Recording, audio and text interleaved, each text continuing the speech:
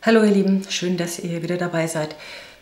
Ich widme mich heute mal dem Thema Haare. Meine Haare, Gott bewahre. Also ein Wunschtraum oder ein Traum vieler Frauen.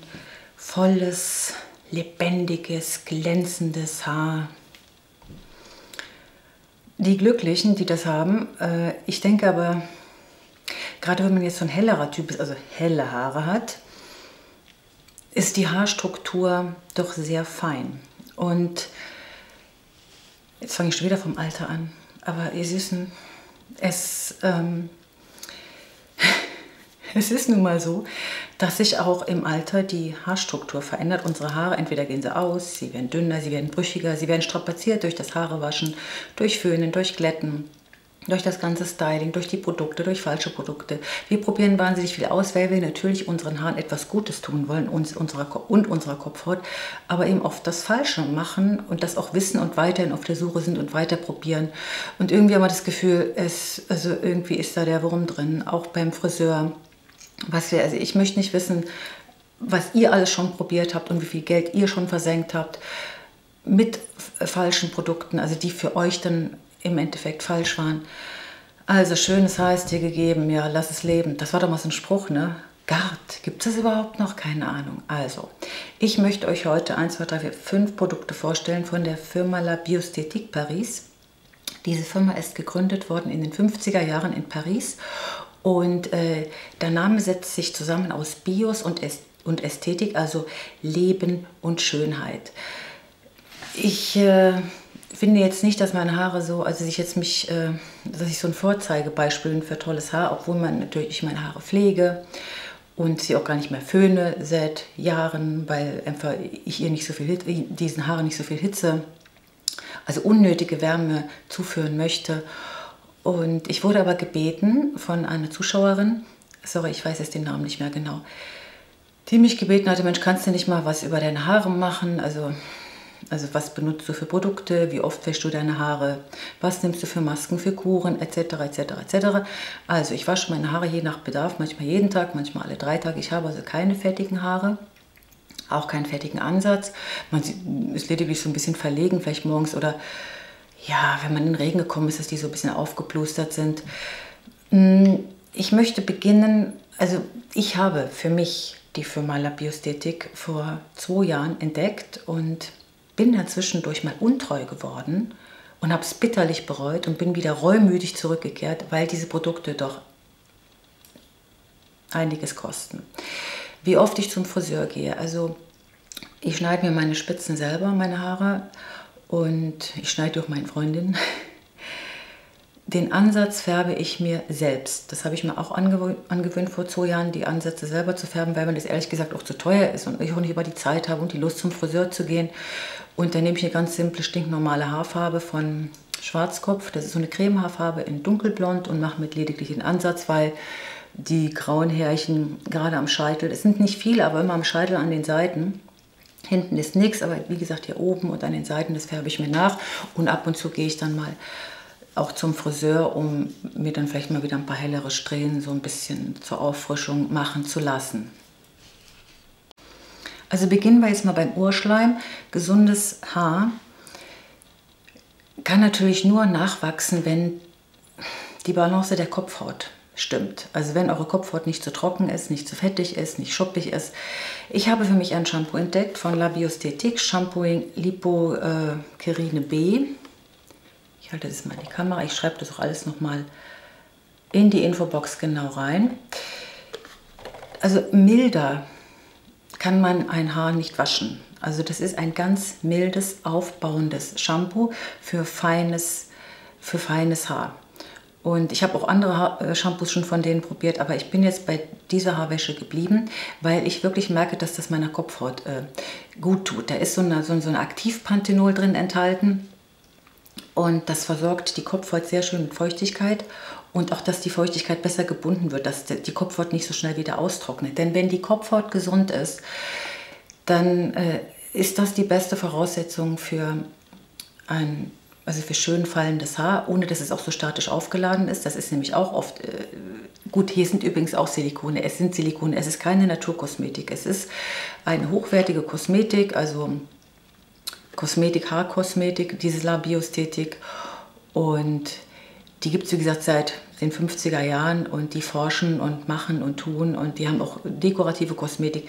Also ich bin davon überzeugt. Ich will jetzt auch gar nicht wissen, was da an Chemikalien noch weiter drin ist. Wahrscheinlich sind wieder irgendwelche Sachen drin, die vielleicht doch nicht so gut tun. Aber ich habe nicht das Gefühl, dass diese Silikone, die darin enthalten sein sollen, wahrscheinlich, ich habe das jetzt nicht, das kann man echt kaum lesen. Das seht da hinten, so klein ist das geschrieben, äh, dass die jetzt meine Kopfhaut so zukleistern. Man sagt ja, Silikone kleistern die Kopfhaut zu, dann kann sie nicht atmen. Also meine Kopfhaut kann wunderbar atmen und ich hatte totale Probleme vorher mit der Kopfhaut.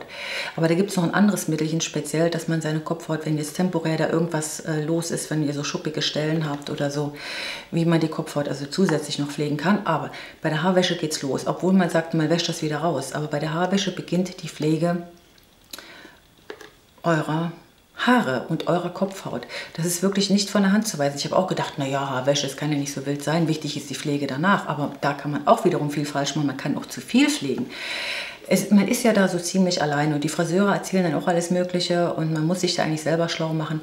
Man kann sich schlau machen, man kann sich äh, Meinungen anschauen von YouTuberinnen zum Beispiel, man kann in der Zeitung nachlesen, man kann im Internet nachlesen, man kann selber seine Erfahrungen machen und sucht für sich das Beste raus. Man kann natürlich von den Erfahrungen YouTube zum Beispiel anderer profitieren und kann das probieren. Hopp oder top, wie gesagt. Ne? Also dieses Shampoo ist für mich, also ein anderes kommt nicht mehr in die Tüte. Ich habe da mal so ein, Color, so ein, so für koloriertes Haar auch genommen. Das war nicht so gut. Dann sind die Haare wieder so rumgeflogen. Also ich brauche wirklich ein, ein, Shampoo.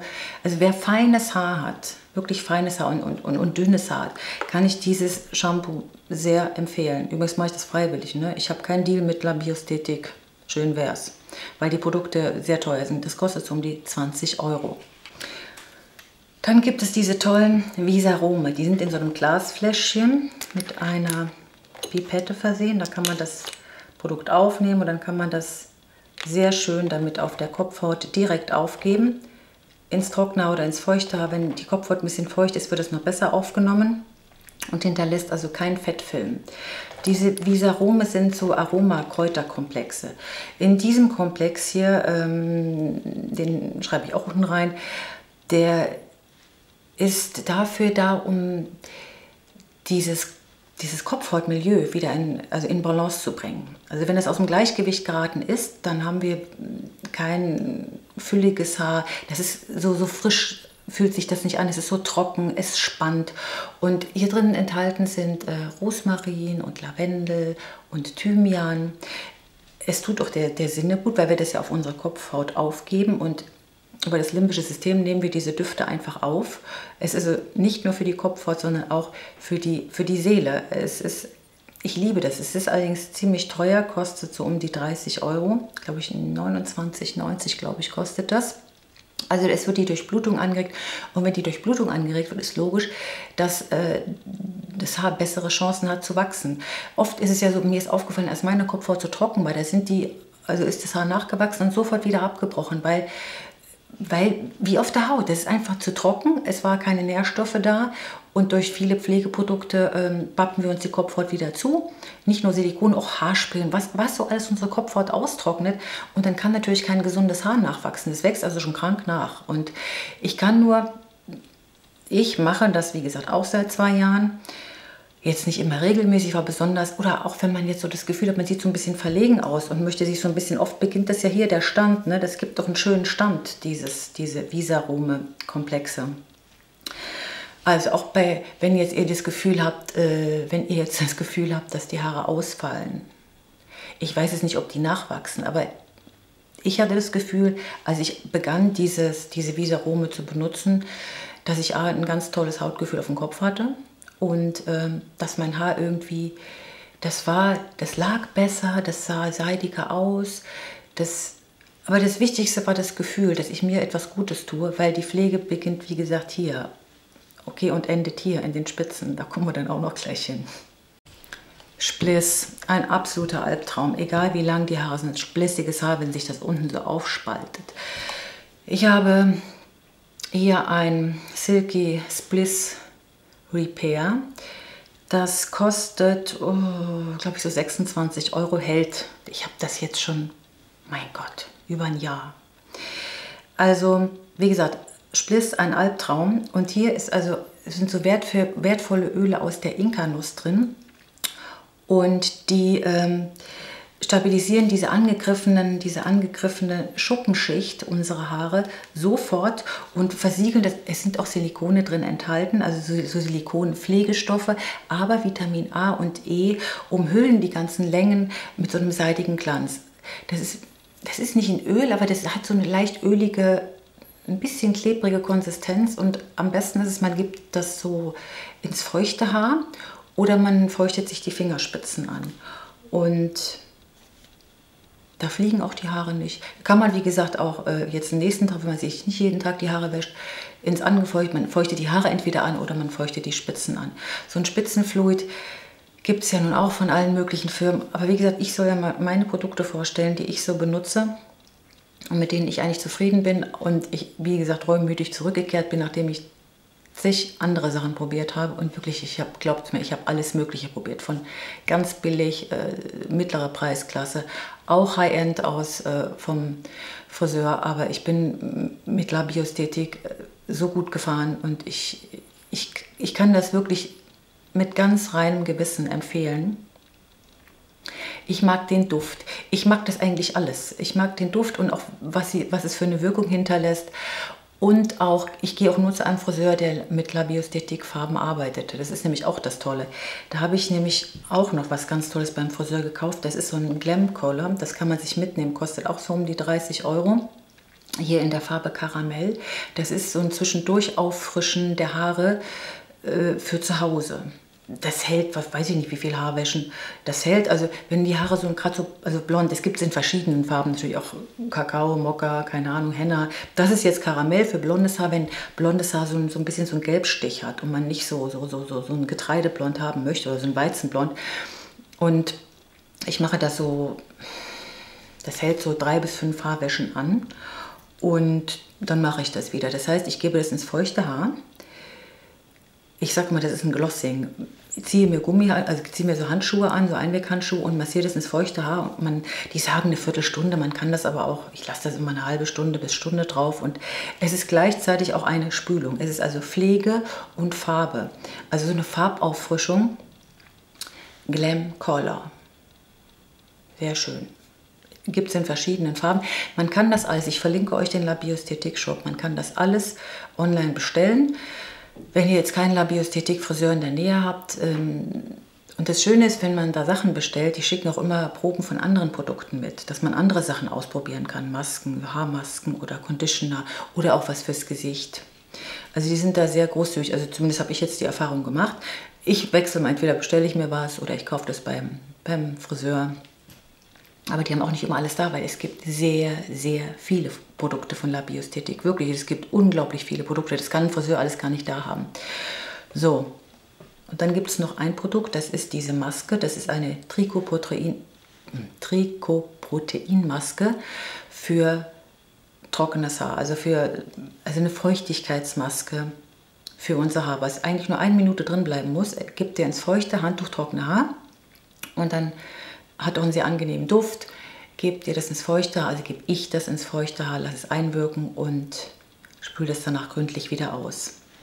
Das sind ja so Masken, auch so Feuchtigkeitsmasken oder generell Masken, Haarmasken, dass das Haar dann so zusammenfällt oder so weich wird, so, so ne, viel zu weich. Wenn ein Haar zu weich ist, fliegt das ja auch.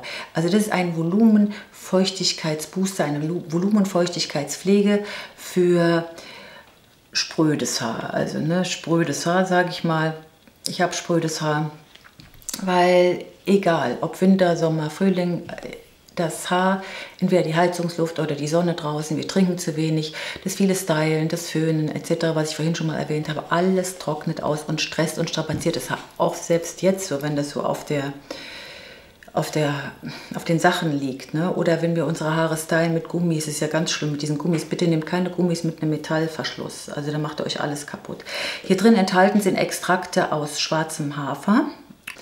Schwarzer Hafer und Wacholder vereinen sich zu einem wahren Feuchtigkeitsbooster und dieses, deswegen heißt es auch Trichoprotein, Trichoprotein, mein Gott, das ist ein schwieriges Wort, dieses Trichoprotein sorgt dafür, dass die Feuchtigkeit im Haar bleibt, dass die nicht sofort wieder ähm, verschwindet, sich auflöst, verpafft, verpufft, verdampft.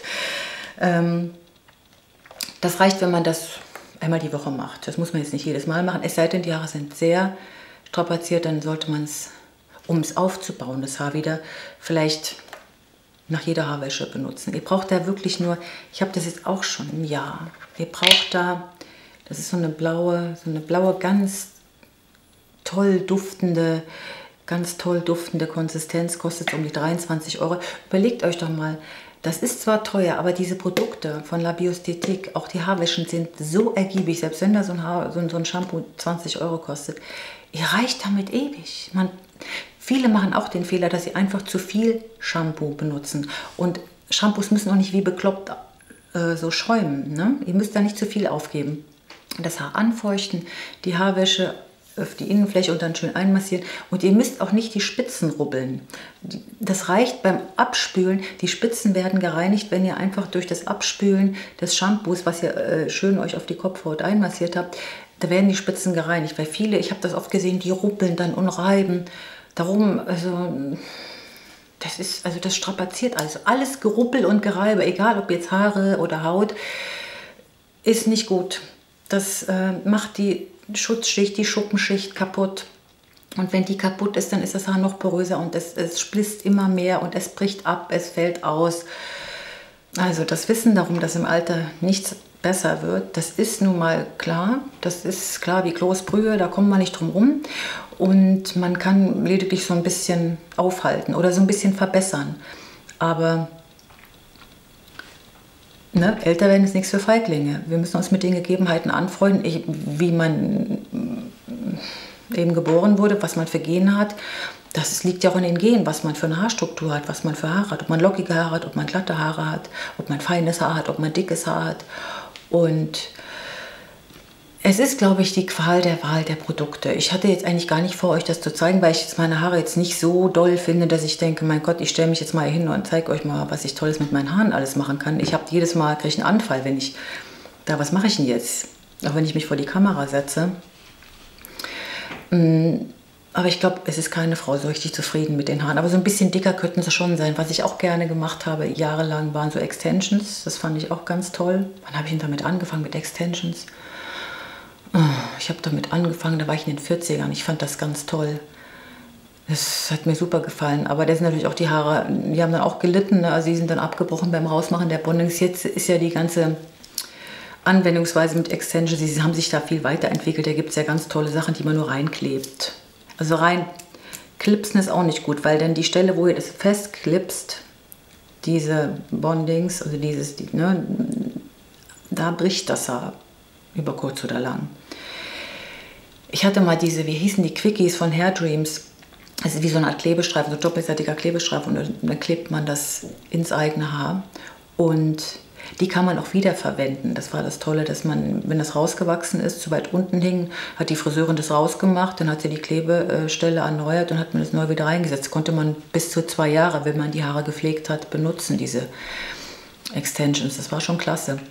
Aber ich habe jetzt schon seit über einem Jahr keine Extensions mehr. Die sind die eben so ein bisschen, naja, ich schneide die regelmäßig, aber egal, auch wenn ich die so kurz habe. Ich hatte die ja letztes Jahr so kurz auch. Die sind trotzdem so dünn, so, so, so, so fein. Es ist so feines Haar.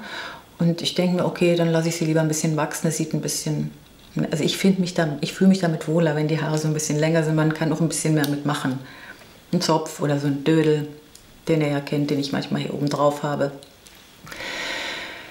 Ja, ihr Lieben, in diesem Sinne, was soll ich weiter sagen zu den Haaren? Ich habe jetzt mal meine Produkte vorgestellt auf Wunsch einer Zuschauerin und schreibe sie, wie gesagt, in die Infobox und wünsche euch alles Liebe, alles Gute. Seid gut zu euren Haaren, strapaziert sie nicht zu sehr, die Arme. Äh, auch mit diesen Färben, das ist ja das Doofe, ne? Dass man, viele Frauen habe ich, ich habe das auch gelesen, ich habe auf dem Kanal ein oder zwei Ladies, die äh, lange gefärbt haben und sagen so, ich habe da keinen Bock mehr drauf, ich lasse das Grau rauswachsen. Das finde ich total mutig, finde ich klasse. Obwohl Grau ist ja so ein bisschen auch trendy, momentan so graue Strähnen, warum nicht? Also ich ehrlich gesagt, ich bin, da bin ich noch nicht so weit. Irgendwie, nee, ich finde es bei anderen toll, wenn die dazu stehen und das machen, aber ich selber, ich, äh, Nee, ich glaube, ich möchte noch keine grauen Haare haben. Ich habe eine gute Bekannte in Berlin, die hat graue Haare, die hat graue, lange Haare. Das sieht so affengeil aus. Das sieht Hammer aus. Aber die hat auch die Struktur, die hat richtig dicke, fette Haare. Und da sieht das toll aus. Aber, also cremt euch nicht. Wir müssen uns mit dem abfinden, was wir haben und daraus versuchen, das Beste zu machen. Ihr Süßen, see you soon.